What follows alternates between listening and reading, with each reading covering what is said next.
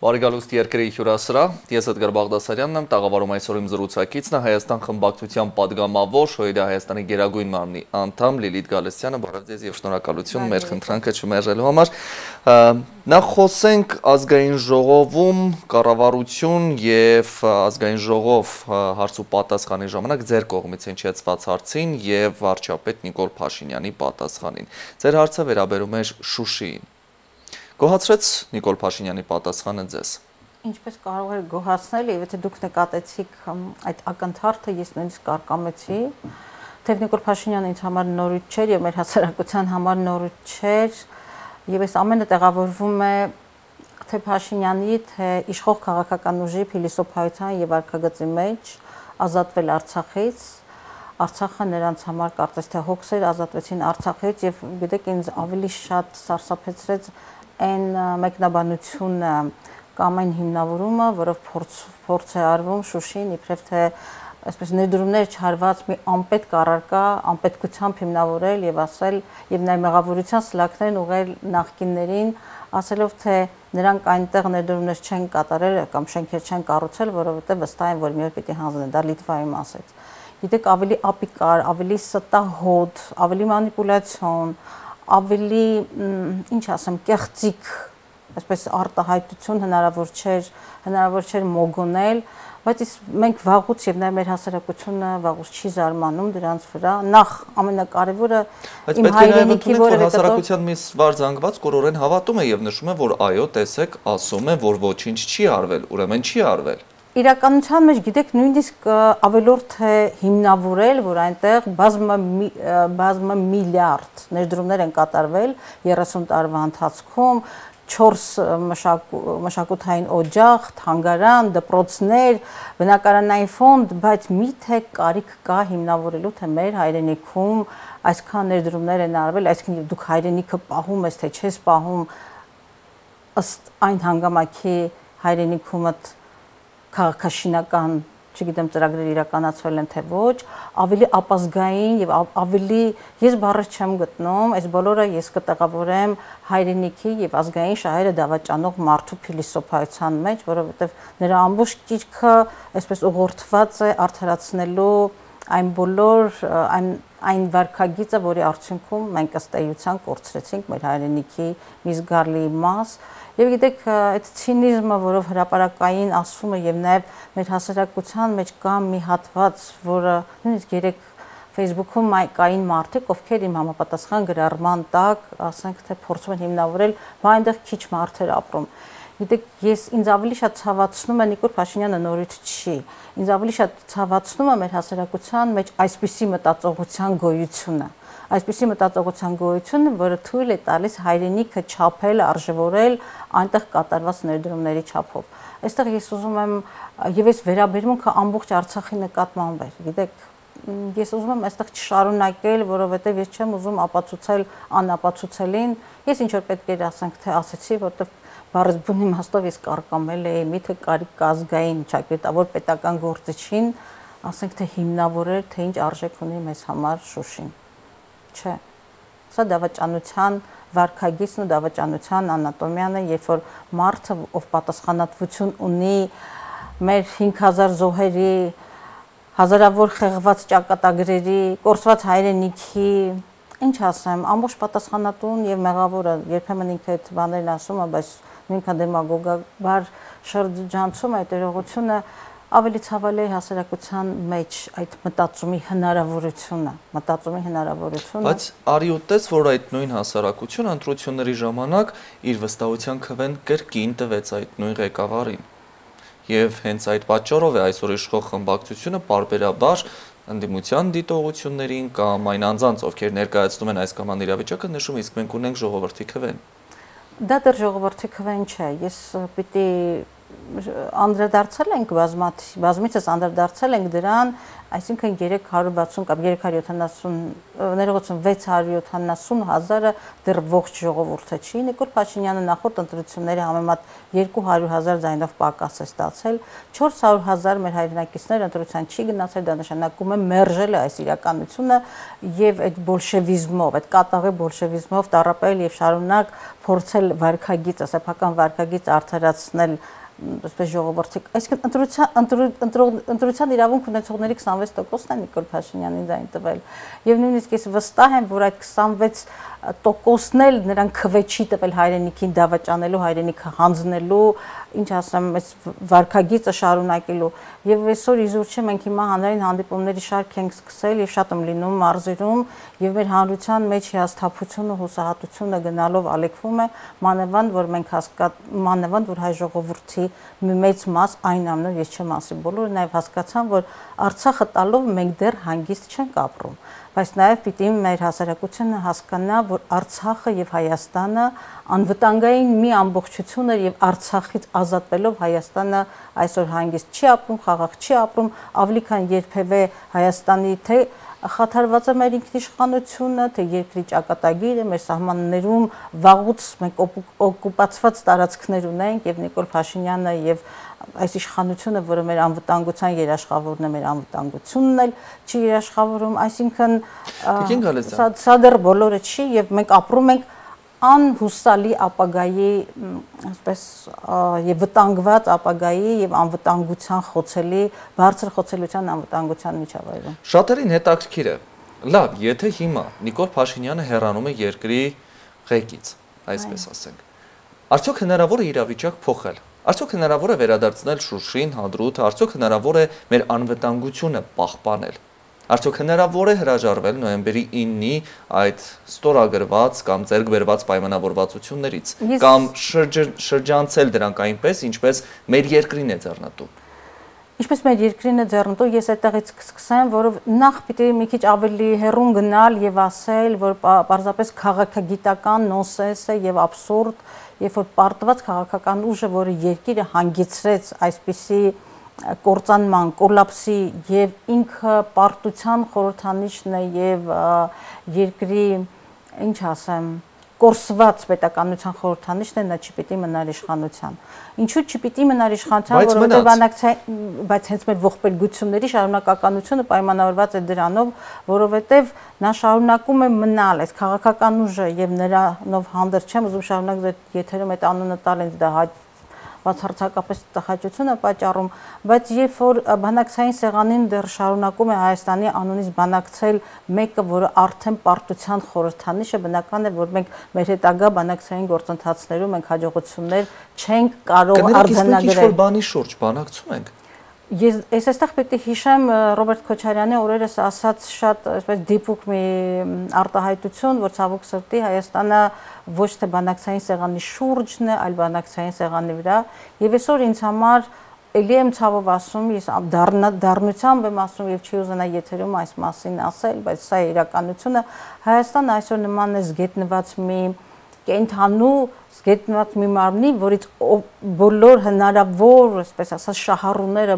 փոկում են ինչ որ բաներ։ Այսօր Հայաստանը ծվատվում է։ երբ որ դու այս տարածաշրջանի Ադրբեջանական զինված ուժերի ներկայացուցիչները ամիսներ շարունակ գտնվում են մեր սուվերեն տարածքում, մեր երկրի իշխանությունը հայտարարում է դիմել են ռուսական կողմին։ Այո։ Ինչը սա նշանակում։ Սա նշանակում է, որ Հայաստանում փաստացի չունենք, փաստացի չունենք իշխանություն, որը Սա նշանակում է, որ դե ֆակտո մենք ունենք անկախություն, դե յուրե այլևս մենք չունենք այդ անկախությունը։ Կախված ենք ինչ որ ուժերից, ես իրականության աչքերին եմ ուզում նայենք հասկանանք։ Իսկ ես այդ իրականության աչքերը մի քիչ ավելի այսպես կխորացնեի կամ կբացեի, կբացեի այդ իրականության աչքերը, իհարկե նորություն չեմ ասում, մենք շարունակ լսում ենք Իրանից քաղաքական, այսպես ասած, հայտարարություններ արտգործնախարարի բարձր ղեկավարության մակարդակով, իսկ Իրանի Իսլամական Հանրապետությունը տարածաշրջանի եւ այսպես համաշխարհային խաղացող է եւ Իրանի Հանրապետ երբեմն տպավորություն ունես, թե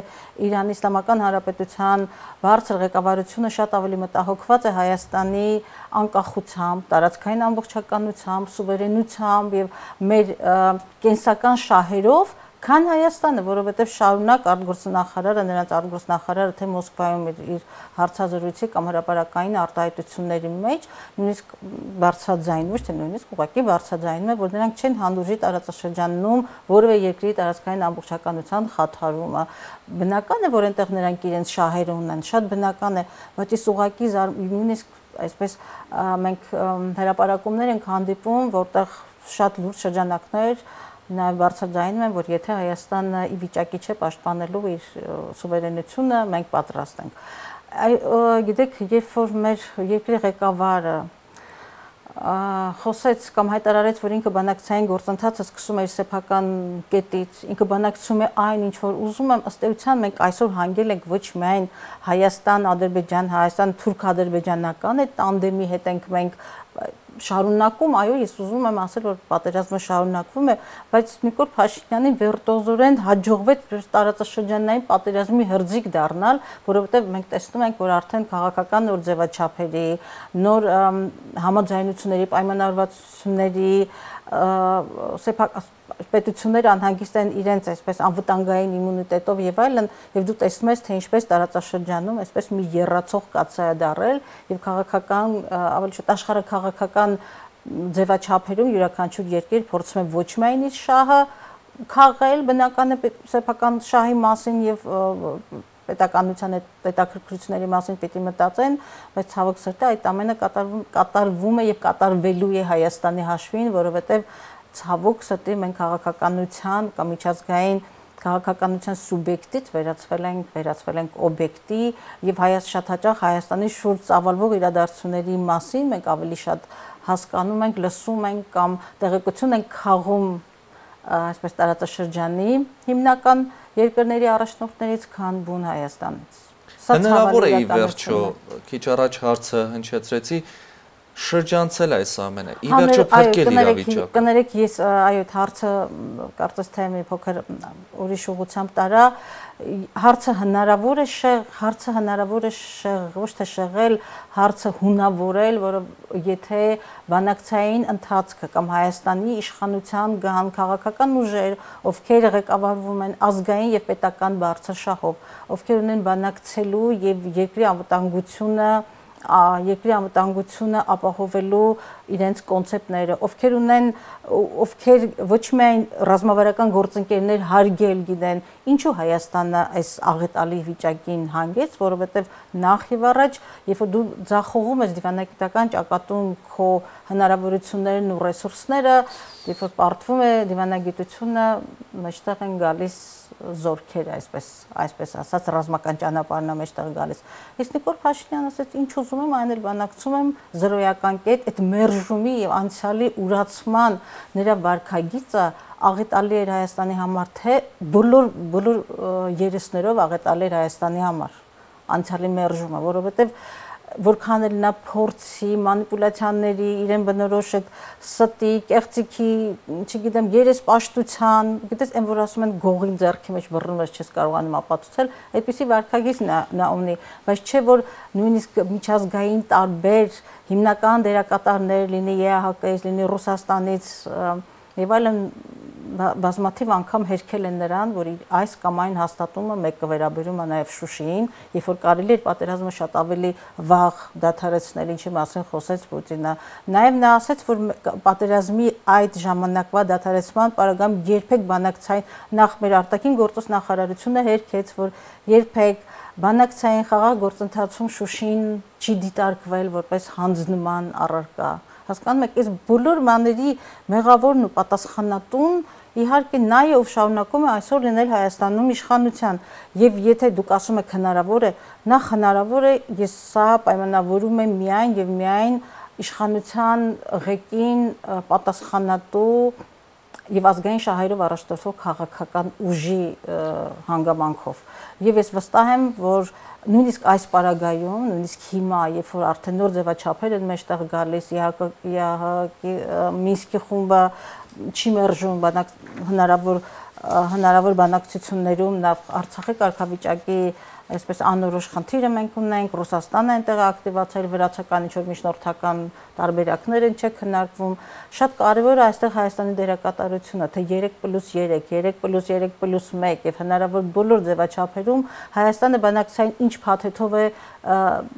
ինչ փաթեթով է հանդես գալիս։ Իրաքի Ղարիբաշվիլի այցը Հայաստան եւ այցը այնքան էլ լայն չլուսաբանել է։ Կասկածի տեղիք չի տալիս։ Գիտեք, մեր ամբողջ այս 3 տարին կասկածի եւ post factum վիճակներ են։ Մենք ոնց ասեմ։ Նախորդ 3 տարիները մշուշի եւ խափեության տարիներ էին։ Մշուշի, խափեության, խավարի, փաստի առաջ մեզ կանգնեցնելու, նույնիսկ ես հիշում եմ նախորդ խորհրդանական ընդդիմությունը բազմաթիվ անգամ հարցեր բարձրացրեց, պատասխանը մեկն էր, ինչ բանակցում եմ, մեն էլ ինչ պետք է նայել բանակցում եմ, այդ մեր հասարակությունը գիտի եւ այնպես որ պետք չի մեղադրել, իհարկե, քանի որ Նիկոլ Փաշինյանի ոչ քաղաքական զինանոթը սպառված, այսինքն չի ունեցել բացի բացի անցյալի մերժումը եւ ատելության էներգիան, ընդհանրում իր ամբողջ այսպես սնունդը եւ նաեւ մեր հասարակության մոլորեցման սնունդը անցյալի հրեշայինացման վրա է կառուցում բայց պետք է ընդհանրապես մի քիչ փորձել բացել այդ ծե վարագույրը հանել մեր աչքերից այս մարդը հստակ հայտարարել է որ ինչ ուզում է բանակցում է զրոյացնում է եղած ամեն ինչը եւ նաեւ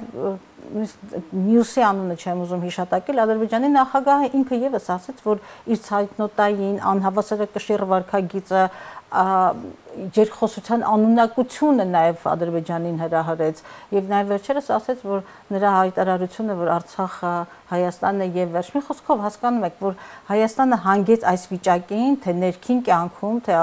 արտաքին ճակատում իշխող քաղաքական ուժի, ես ավելի շուտ կասեմ հիմնականում նրա պատճառով, որովհետև ցավոք սրտի Հայաստանում գնալով խորանում է այսպես բռնատիրական ավտորիտար իշխանությունը եւ նույնիսկ այս խորհրդանական եմ երկու ամսվա հա երբ փորձառությունը ինձ թույլ է տալիս ասել, որ այնտեղ բացարձակապես մտքի քննարկման ազատություն ես չեմ տեսնում այդ խմբակցության մեջ եւ ըստ էության դա մի մարդու կողմից բացարձակապես տոտալիտար Այդ խմբակցության որոշ ներկայացուցիչներ ընդդիմությանը մեղադրում են, որ ընդդիմությունը թշնամու բերան, այսպես ասած, լեզու է դնում։ Ինչով։ Խոսում է, որ օրինակ Նիկոլ Փաշինյանը մեղավոր է եւ դա ազդում է հետագա բանակցությունների վրա։ Իսկ ով է մեղավորը, եթե ոչ Նիկոլ Փաշինյանը, շատ ներողություն արդարացնում են, որ իրավիճակն էր այդպես, որ նա ստիպված է եղել դա ստորագրել, փրկել է կյանքեր։ Դրանք էժանագին, դա էժանագին ծամուն է քաղաքացիական ոչ բարձր գիտակցություն ունեցող եւ մոլորված, մոլորեցված հասարակության համար։ Մենք բացարձակապես ինչ ասեմ, այս մահվան վկայականն Նիկոլ Փաշինյանը տվեց հայ ժողովրդին։ Եվ այսօր, երբ որ խաղաղության կեղծ դիսկուրսով նա փորձում է նոր զողողությունների, նոր կորուստների հանգեցնել մեր պետականությունը, շարունակ այդ պատերազմի հնարավոր պատերազմի վախով ել ավելի ահաբեկելով խորը այսպես ասեմ հետ պատերազմյան ճգնաժամի եւ դեպրեսիայի մեջ ապրող մեր հասարակությանը բայց մեր հասարակությունը նախ մի կողմից պետք է հասկանա որ այս պատերազմը սանձազերծեցին իհարկե թուրք ադրբեջանական սա ագրեսիա էր Հայաստանի նկատմամբ, բայց պահը նրանք ընտրեցին, որ այդ որովհետև Հայաստանում քաղաքական ուժը եւ նրա ղեկավարը ցավոք սրտի այդ պահին այս ուժն էր եւ նրա ղեկավարը, որը Հայաստանը հանգեցրել էր այնպիսի մտնոլորտի, ես նկատում եմ ներազգային պարակտման բարձր անտանելի մակարդակը եւ որը գնալով խորանում է։ Ես նկատում եմ արտաքին ճակատում նրա բոլոր ձախողումները, ռազմավարական գործընկերների հետ հարաբերությունների լարվածությունը, անհասկացողությունները, թե Իրանի պարագայում Իրան Իսլամական Հանրապետության եւ թե Ռուսաստանի այդ բոլոր կնճիրները եւ նաեւ իր այսպես ասած սեփական կետը Հայաստան նաև կազմականդումը ի վերջո 3 տարի ինչ կատարվեց Հայաստանում պատերազմը, այո, բացի պատերազմից, մի հատ եկեք մեր ներքին կյանքին նայենք։ Ամբողջ երկիրը կազմակերպեց Հայաստանը վաղուց համանadrականությունը կորցրած երկիրը, որտեղ բոլոր հնարավոր ինստիտուտները արժեզրկեց, այն արժեքները, որոնք ինքնություն էին կերտում, մեր ինքնությունը կերտող բոլոր հնարավոր արժեքները, այսպես հարցակում դպրոցի վրա, հարցակում եկեղեցու վրա, ազգային արժեքների վրա, նվաստացում, պատերազմի հերոսների նվաստացում, բանակի կազմակերպում, բանակի կազմակերպում, չէ՞ որ նրանք ամիսներ շարունակ խոսում են պատերազմի ռեֆորմի մասին եւ նույնիսկ արդեն իրենց շրջանակից լսում ես ձայներ եւ գրառումներ, որոնք խոստովանում են, որ պատերազմում մեր ձախողումների պատճառներից մեկը իհարկե կարիք չունեի այդ հղում անելու, բայց նաեւ իրենց սեփական շրջանակներից այսպես ասած հնչում են բարձրաձայն բարձրաձայնումներ, որովհետեւ պատեր այսպես բանակում նոր ղեկավարություն եւ սպայական այսպես ղեկավարություններ իրականացնում պատերազմական օպերացիաները, որոնք չէին տիրապետում իրավիճակային եւ ռազմական գործողությունների փորձառություն չունեին եւ այլն եւ այլն։ Այսինքն այս ոչ պրոֆեսիոնալիզմը, կազմակերպումը, անցյալի ջնջումը եւ ուրացումը Հրանտ Մաթեոսյանի խոսքով ասեմ հայրասպանությունն էր դա։ Ի վերջո սա դիտավորություն էր, թե անգիտության նշան Դիտավորյալ էր այս ամենը արվում, որպեսի կազմալուծվեր Հայաստանը։ Ի վերուստ, երբ այս իշխանությունները 2018-ին իրականացրեցին այսպես ասած հեղափոխությունը, հենց այդտեղից սկսվեց այդ ծրագիրը, որն մինչ այսօր գործում է, թե սա պարզապես անգիտության, անուշադրության հետևանք է։ Ուրեմն ես պիտի ասեմ, որ սա իմ անձնական դիտարկումներն են, բայց ես այս այս գնահատականը շատ քաղաքագետների կողմից եմ նաև լսել եւ թույլ եմ տալիս ինձ բարձրաձայնել, երբ որ հասկանում ես, որ Հայաստանում տարիներ շարունակ այսպես ցանցային պատերազմ հայտարարված եղել Հայաստանի Հայաստանի նկատմամբ եւ մենք շատ ենք սիրում ասել գրանտակերները, սրանք, նրանք, նրանք եւ որոշակի ՀԿ սեկտոր, որոշակի ՀԿ սեկտոր Հայաստանը ներխուժել հենց այդ առաքելությամբ երբեմն ժողովրդավարության անվան տակ, երբեմն մարդու իրավունքների անվան տակ Հայաստանը ներմուծվել մեր, մեր ինքնությունը խեղող, մեր արժեքային համակարգը հյուծող, մեր հանրային համախոհությունը, այսպես ասած, ջլատող, մեր մեզ հեղինակա զրկող, հասկանում եք, այո, մենք ունեցել ենք խնդիրներ։ Ես դուք ինձ լավ եք ճանաչում, որպես իմ քաղաքական կենսագրությանը լավ եք ճանաչում, բայց ես եւ ես երբեք այսպես չեմ տարապել վարթագույն ակնոցներով նայելու իրականությանը քննադատել եմ թե բոլոր շրջաններում եթե քննադատելիք կար եւ ես գտնում եմ որ պիտի միշտ խոսել, խնդիրները բարձրաձայնել, բայց մենք ունեցանք մի իրականություն, երբ թիրախավորվեց մեր էյութենական այն առանցքները, որի վրա մեր պետականությունը պիտի ուժեղներ եւ այդ ցեցը օտարա մութ ցեցը մեզ ներսից կերավ եւ ընտրվեցին մարդիկ, ովքեր կկարողանային նաեւ իրականացնել այն ծրագիրը, որը նախատգծված էր Հայաստանի համար եւ նաեւ այդ մարդիկ են մարդիկ եկան իշխանության դե բնական է ես չեմ կարող այդ բոլորի մասին այս նույն գնահատականը տալ բայց ես տեսնում եմ թե այսօր պետական իշխանության իշխանության այս կամ այն օղակում ինչպիսի ինչ ասեմ փորձառությունից զուրկ ղեկավարման 0 փորձ ունեցող մարդիկ իմացական մակարդակով խայտարակ ինչ ասեմ աններ աններկայանալ աններկայանալի պետություն չհասկացող պետություն չճանաչող պետականության պետականության գին ու արժեքը չգիտակցող մարդիկ են եւ շատ հաճախ մարդիկ ովքեր սեփական իշխանության համար պատրաստ են պատրաստ են ամեն ինչի եթե անկեղծ ասեմ ես երբեմն այսպես նայում եմ դեպի աճ քաղաքական մեծամասնության եւ հատկապես այն պարագաներում, երբ որ նրանց առաջնորդը խորհրդարանում այսպես հրաապարակային հաստատումներ անում, ինչպես արեց Շուշիի համար, ինչպես ասած, ինչ ուզում են բանակցում են։ Մարտիկ ովքեր եկել էին ժողովրդավարության, հիշում եք ինչ-ինչ խոստումներով եկավ, ասում արդյոք սրանց մեջ այդ խիղճը չի արտնանանում, արտնանում, արդյոք իրանք հաշտ են այս իրականության հետ, արդյոք չեն գիտակցում, որ պատմությունը այսպես արձանագրելու է մի ժամանակաշրջան, որտեղ նրանք այստեղ նստած են եղել եւ հավասարապես կիսում են այդ պատասխանատվությունը ի վերջո մենք սխալվում ենք, բայց պատմությունն արձանագրում է եւ մենք մենք նկատի ունենք քաղաքական մեծամասնությանը հատկապես մենք նաև դա այդ պատասխանատվության բեռի տակ մտնելու ենք իսկ այսօր ամենամեծ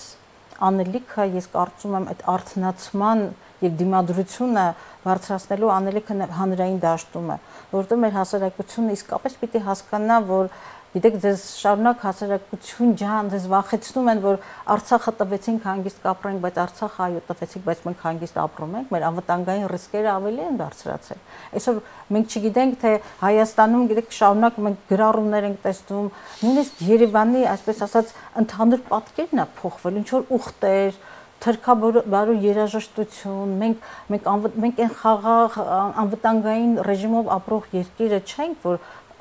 բաց հասարակությունը, որ բացենք մեր դռները։ Իսկ գուցե մեր հասարակության դիմակն է պատրվել։ Ես չեմ ուզում այդպես դա։ Չէ՞ որ այն հասարակությունն է եւ այն ժողովուրդը, որը 90-ականներին մինչեւ վերջին կաթիլը կարողացավ, կարողացավ Արցախ եւ անկախություն նվաճել եւ կանգնել դրա համար Ոչ, ես նաև այդ սերունդն եմ։ Ես այն սերունդն եմ, որը համալսարանում դասից հետո գնում էր նստածույցի, որը մտածում էր, որ եթե ինքը չլինի եւ հազարավորներ, որ եթե ես չգնամ այս ցույցին, մեկ մարդով պակաս կլինի։ Մենք այն սերունդն ենք, որոնք իրենց, չգիտեմ, ընդմիջումի գումարը կամ չգիտեմ, օրապահիկը տալիս են, որ Արցախ թեկուզ 6 6 հատ ավելի հաց գնա։ Չէ՞ մենք այդ հասարակությունն ենք ունեցել, բայց շարունակ մեր մոտ արժեքների դեգրադացիա, արժեքային դեգրադացիա գնաց եւ այսօր Գիտեք, ես ուղղակի սահմռկում եմ, երբ որ հրաապարակային գրառումներ եմ տեսնում, ասենք թե արցախցիների նկատմամբ, նույնիսկ չեմ ուզում հրաապարակային ասել այդ անհանդուր ժողականությունը, եւ շատ բնական է այս ֆոնի վրա Ալիևը արդեն Վերջին 3 տարվա ընթացքում հայը հայի նկատմամբ սկսեց անհանդուրժողական լինել։ Մեզ բաժանեցին արցախցիների, հայերի, սփյուռքի, դրսի, ներսի։ Դա եւ ես կարծում եմ, որ դա գիտակցաբար է կատարվել այ երբ որ դուք ինձ քիչ առաջ հարցնում եք դա չիմացության արդյունք է, անտաղանդության արդյունք է, թե ծրագրի, բայց գիտեք ցանկացած ժողովրդի կամ ներողություն ցանկացած պետականության ռեսուրսների մեջ իթիվս աշխարհագրության դիրքերի ռեսուրս աշխարհագրական դիրքի ծով ունենալու, չգիտեմ, հա, օգտակար հանածոների, ինտելեկտի եւ այլնի կողքին շատ կարևորվում է տվյալ հասարակության բարյահոգեբանական նկարագիրը եւ նրա տոկունությունը մենք այսօր մենք այսօր փլված արժեքային համակարգից բաժանված խեղված ես հասկանում եմ իհարկե պարտության ծանր կնիքը դեռ երկար մենք պիտի ապրենք բայց նաև մենք պիտի հասկանանք, որ մեզ հատկապես ջլատեցին, պարակտեցին, մեր ազգային ինքնագնահատականը նաև իջեցրեցին, որպեսզի մենք դար, մեր հասարակությունը դառնա հեշտ կառավարելի։ Պատերազմի վախերով, կեղծ խաղաղության դիսկուրսով նոր մահվան վկայականն է սա բերում հասարակությանը այո խաղաղությանը, արժանապատիվ խաղաղությանը, բայց ինչ գնով եւ ինչպես։ Տեսեք, ես ձեզ մի բան ասեմ, օրերս ես նորից ցավով, այսպես ամեն անգամ փոքր-փոքր մեռնում եմ այս իրականությունից, երբ որ կարդում եմ, որ երբ որ այս տահակները Շուշիից այսքան հեշտ առանց մեղքի գիտակցում են Սարյան եղբայրների մեջ ասում է Երանի քեզ մարդ չէ սպան, այդ այդ երանության մեջ դրանք ապրում են, իսկ Ալիևը Շուշին հայտարարեց թուրքական աշխարհի մայրաքաղաք. 2023 թվականին Շուշին թուրքական աշխարհի մայրաքաղաք է լինելու։ Այս նույն օրերին մենք հեշտությամբ հանդուրժում ենք, որ Հայաստանի օթային սահմանով թուրքական ինքնաթիռներ են գնում դեպի Ադրբեջան։ Ճիշտ եմ, ճիշտ եմ, չէ՞ ես ասում